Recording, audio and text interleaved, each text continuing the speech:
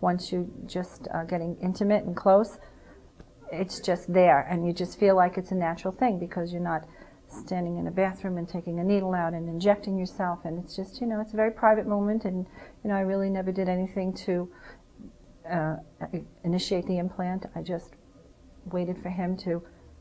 have that done, and then he just came to me, and we were just totally able to be intimate, and it just felt like it was a natural erection.